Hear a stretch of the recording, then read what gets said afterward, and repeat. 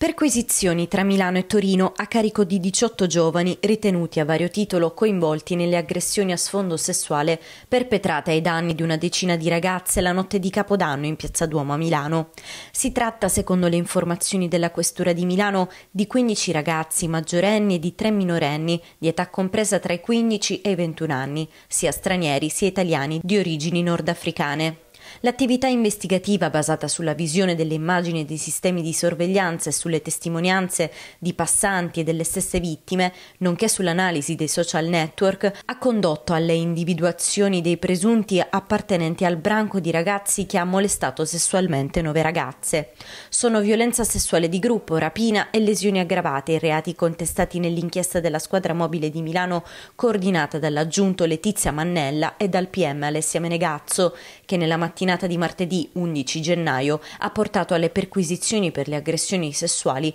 nei confronti di nove ragazze. Nell'indagine della Procura di Milano sulle aggressioni in Piazza Duomo nella notte di Capodanno, inquirenti e investigatori dopo le perquisizioni sono al lavoro per individuare altre vittime che si aggiungono alle nove già accertate. Per avere certezza sugli autori delle violenze in queste ore sono in corso anche riscontri incrociati tra le testimonianze delle ragazze accerchiate, rapinate e molestate. Dei 18 ragazzi, tra cui tre minorenni identificati e oggetto delle perquisizioni, sono 12 al momento gli indagati a vario titolo per violenza sessuale di gruppo, rapina e lesioni aggravate, ma il numero ovviamente è destinato a crescere.